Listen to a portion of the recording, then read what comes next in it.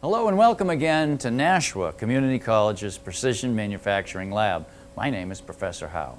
Today we're going to learn how to upload a file to a Haas CNC mini mill.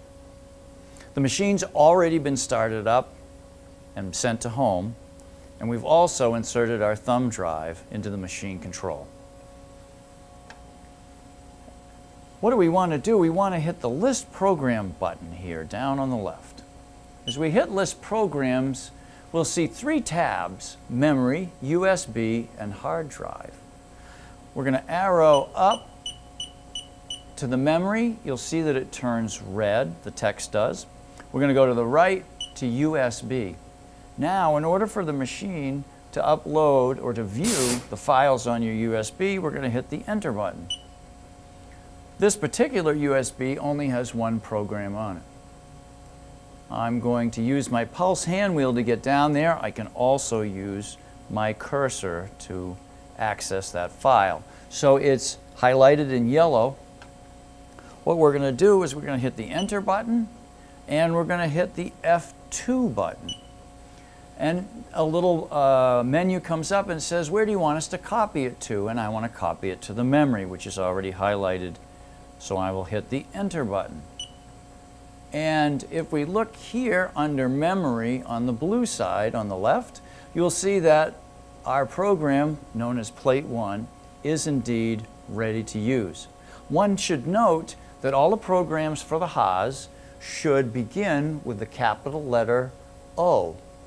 And it's helpful if you eliminate or don't use the 9000 series numbers as they are guarded in the Haas control.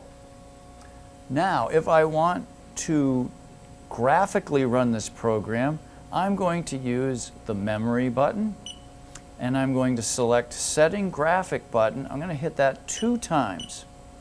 You see the white screen comes up in graphics mode. Now we are safe to use cycle start to run our program graphically. Nothing will happen inside the machine.